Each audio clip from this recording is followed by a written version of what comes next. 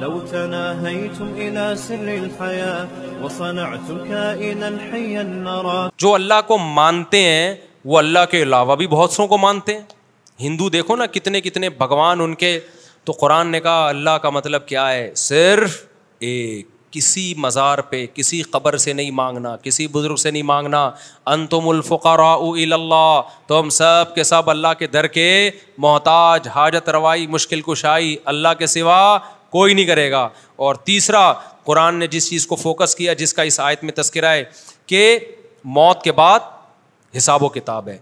तो ये जो आयत मैंने पढ़ी है ना, हुआ ये था। तीनों पे मज़ाक उड़ता था नबी सल्लल्लाहु अलैहि वसल्लम का। लेकिन सबसे ज़्यादा मज़ाक पता है किस अकीदे पे उड़ाया जाता था? खुदा के इनकार या खुदा की तोहहीद पे नहीं। सबसे ज़्यादा नबी का मज़ाक उड़ाया जाता इस नज़रिए पे कि हम मरने के बाद दोबारा ज़िंदा होंगे। जब उनकी बात होती ना कि सिर्फ़ एक अल्लाह है तो वो तंज करते थे। इस्तेजा बहुत ज़्यादा नहीं करते थे वो। जब उनको कहा जाता, कायनात को बनाने वाला कोई है, नज़रियाती इख्तलाफ करते थे इस पर इस्तेजा नहीं करते थे बहुत ज़्यादा। लेकिन जब ये कहा जाता, मौत के बाद ज़िंदगी है, इस पर बहुत मज़ाक उड़ाया मुशरकिन ने।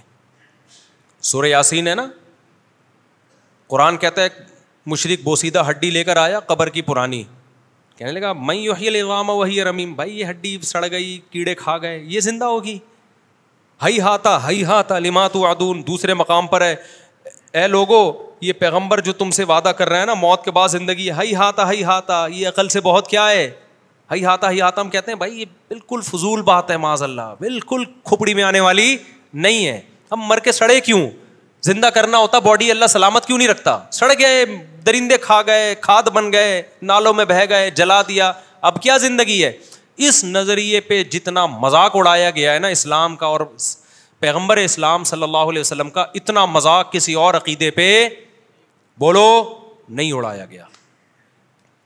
इसलिए कुरान इसको बहुत ज़्यादा फोकस करता है। कुरान कहता है, जो इस आसमानों और ज़मीन को और इतनी खूबसूरत कायनात को पहली मर्तबा बना सकता है, जो तुमने मान लिया कि पहली मर्तबा तो बने हैं ना तो दोबारा क्यों नहीं बना सकता भाई?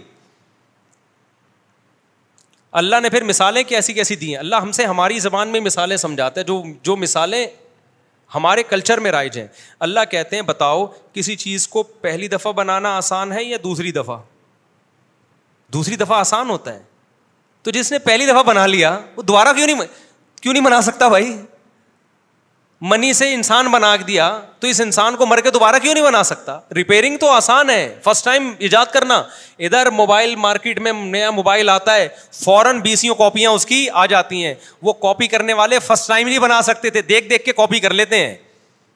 अफ़गानिस्तान में बम्बारी होती थी, अमरीकी जहाज़ हेलीकॉप्टर वेपन होता था तो चाइना वाले और तो कहते हैं दुनिया वाले पहुँच जाते हैं। अबे देखें कॉपी करें टेक्नोलॉजी फ़र्स्ट टाइम बनाना मुश्किल है। टेक्नोलॉजी को कॉपी करना क्या है? आसान। अल्लाह कहते हैं, जब ये कुछ भी नहीं था, मैंने सब बना दिया तो तुम्हें दोबारा बनाना क्या मुश्किल है? इसमें क्यों मज़ाक उड़ा रहे हो?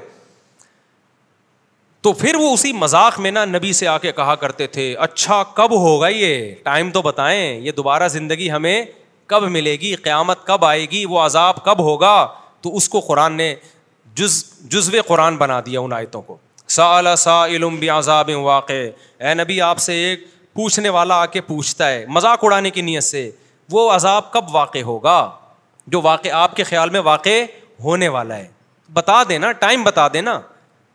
जैसे ऐसे ही है, जैसे कोई हमें धमकी दे रहा हो, मैं पुलिस ले आऊँगा। कहते हैं, ले आना। ठीक है ना? बता दे यार, कब आएगी? तो मज़ाक उड़ाना शुरू कर दिया। अल्लाह ने कुरान में जगह जगह कहा है कि मैंने इसका इल्म कि कब आएगी? किसी मुकर्रब पैगंबर या फरिश्ते को भी इसका इल्म नहीं दिया। ये दिमाग से निकाल दो कि मैं ये बताऊँगा कब आएगी। इसमें हमतें हैं। टाइम नहीं बताया अल्लाह ने। कुल्ला युजल्ली ली वक्ती हा हो ए नबी, इनसे कह दीजिए, उसको उसके वक्त पे वही ज़ाहिर करेगा। मुझे इसके बारे में इल्म नहीं है। मैं पैगंबर हूँ, पैगंबर का काम, मैसेंजर का काम, जो मैसेज मिले उसको आगे डिलीवर करना है। मुझे जो मैसेज मिला है, वो ये मिला है कि ये बात डिलीवर कर दूँ कि तुम्हारा हिसाब व किताब होगा, किस दिन होगा, ये मुझे खुद भी नहीं पता। एक मौक़ था। अगर मोहम्मद सल्लल्लाहु अलैहि वसल्लम माज अल्लाह माज अल्लाह नकल गवर झूठे नबी होते और दुनिया की लालच और चाहत में नबूवत का ऐलान किया होता तो आप कहते थे सौ साल बाद आएगी। क्या ख्याल है? दो सौ साल बाद आएगी। दो सौ साल बाद कौन जाके देखता भाई? नबी को माज अल्लाह नकल कुफर, जो इज़्ज़त हासिल करनी थी, जो दौलत, वो तो मिल जाती ना। भाई, दुनिया में जो नफ्स परस लोग होते हैं, वो कहते हैं, यार, अभी तो लूटो, हमारे मरने के बाद जो मर्ज़ी होता रहे. लेकिन तमाम पैगम्बरों का मौकफ इसमें एक ही था, मज़बूत मौकफ। हमें मालूम नहीं है, हमें नहीं पता, क्योंकि हम आलिमुल गैब नहीं है। कुरान ने यह भी कहा, ये सवाल भी बहुत दोहराते थे, कब आएगी कब आएगी, टाइम बताएँ टाइम बताएँ। कुरान हर दफ़ा एक ही बात को रिपीट करता है, लेकिन मुख्तलिफ़ अंदाज से। तो कुरान ने एक जगह ये भी कह दिया सुर आराफ में या सुर अनाम में कि ए नबी, आप इनसे कह दीजिए, कुल्ला आलमुलगैब मुझे गैब का इल्म नहीं है। मुझे गैब का इल्म नहीं है। मुझे नहीं पता कब आएगी भाई। ये तो जिससे जो देगा, वो बताएगा तो पता चलेगा, वो नहीं बता रहा है। ये फरिश्ते को भी इल्म नहीं। बुखारी मुस्लिम की हदीस है, जबरील सलाम नबी के पास आए, इंसानी शक्ल में, और नबी से आके पूछा कि ईमान क्या है, इस्लाम क्या है? आपने बताया ईमान, एक खुदा पे ईमान लाना, मौत के बाद ज़िंदगी, फ़रिश्तों पे ईमान। जबरील ने पूछा कि इस्लाम क्या है? आपने फरमाया इस्लाम है पाँच नमाज़ें कायम करना, ज़क़़त अदा करना, रमज़ान के रोज़े रखना और हज, बैतुल्ला करना। आपने फरमाया जबरील ने एहसान किया है। यानी हर अमल में एक्सीलेंसी किसे कहते हैं? आपने फरमाया अल्लाह का अन्न का तराहू। अल्लाह की ऐसी इबादत करो जैसे कि तुम उसको देख रहे हो। यानी अल्लाह से तुम्हारा ताल्लुक़ मज़बूत हो। तो ज़ाहिर है ताल्लुक़ मज़बूत होता है तो इबादत में एक्सीलेंसी पैदा होती है कि नहीं होती? फिर जबरील ने पूछा अच्छा बताएँ, क़यामत कब आएगी? आपने क्या जवाब दिया? मल मसूल अनहा बी आलमिन हर सवाल का जवाब मेरे पास नहीं है। फरमाया, जिससे पूछा जा रहा है, उसको पूछने वाले से ज़्यादा मालूम नहीं है। यानी नबी ने बता दिया, मुझे पता है कि तुम्हें भी नहीं पता है कि कब आएगी। मुझे भी नहीं पता है और तुम्हें भी नहीं पता है। फिर जबरील ने कहा कि यार रसूल अलामतें बताएँ क़्यामत की। ये तो नहीं पता कब आएगी। कुछ अलामतें तो होंगी। आपने अलामतें बताई हैं। हमारे नबी ने क़्यामत की अलामतें बताई हैं। क़्यामत का टाइम नहीं बताया। उसमें एक बड़ी अलामत क्या बताई? अनतलिदल अमत रब्बतहा। बांदी अपने आका को जनेगी। क्या मतलब? होना ये चाहिए, जो पैदा हुआ है, वो जिसने पैदा किया, उसको अपनी माँ या अपना बाप समझे। लेकिन पैदा होने के बाद आप अपना बाप पैदा करोगे। जो कि आजकल क्या हो रहा है? आजकल औलादें माँ बाप से डरती हैं, जवान औलादें माँ बाप से डरती हैं माँ बाप जवान औलादों से डरते हैं। बोलो ना माँ बाप डरते हैं किससे? बहुएँ सासों से डरती हैं या सासें बहुओं से डरती हैं? सासें बहुओं से डरती हैं आजकल। बहू आई है, बेच के ना खा जाए हमें। वंस अपॉन अ टाइम बहुओं पे जुल्म बहुत ज़्यादा हुआ, अब भी होता है। लेकिन अब सास को भी लिफ्ट कराना, जो मदर इन लॉ है, कुरान के मुताबिक, उसको लिफ्ट कराना इंडिपेंडेंट इंडिविजुअली इंडिविजुअल में लाइफ गुजारती है। मेरे हस्बैंड है, ये मैं इनकी वाइफ हूँ, आप कौन है?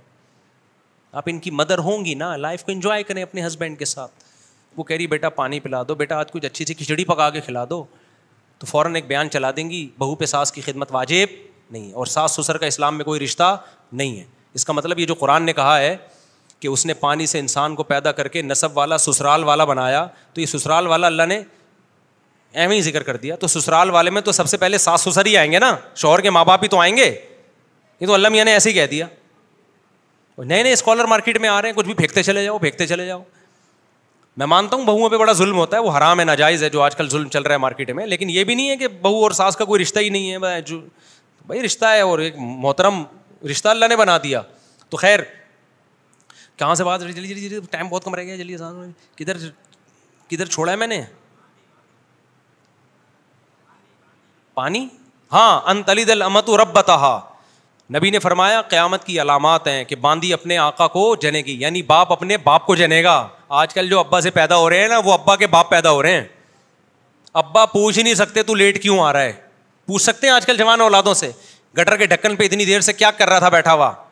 फ़ौरन जो फ़िल्में, ड्रामे देखते हैं ना, डैडी, पापा, एक तो अब्बू बुलवाया करो यार अब्बा को। अब्बू के लफ्ज़ में कितना प्यार है यार। शुक्र है हम अपने अब्बू को अब्बू बोलते थे।